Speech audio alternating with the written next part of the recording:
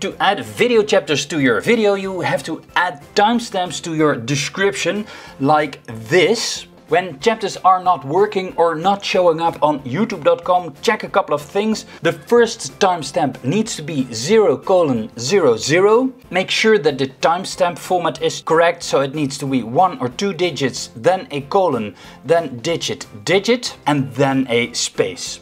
Make sure that those timestamps are at least 10 seconds apart and make sure that those timestamps don't conflict with each other. Those timestamps, by the way, need to be in the right order. I've made a typo once and this 5 for example was a 4 and then when I hit save and watch the video on YouTube, then you can see that the timestamp will not show up. And when you've made a change to one of the timestamps in your description, then make the change, hit save, and those changes are directly available on youtube.com. If that is not the case, like the case is here, then wait 24 hours. If your timestamps still are not working, copy the timestamps of this video and then manipulate it to fit your own video. Here in the screen are two videos that I recommend you to watch next. My name is Dexxter Clark from the Netherlands and I've been on YouTube since 2010.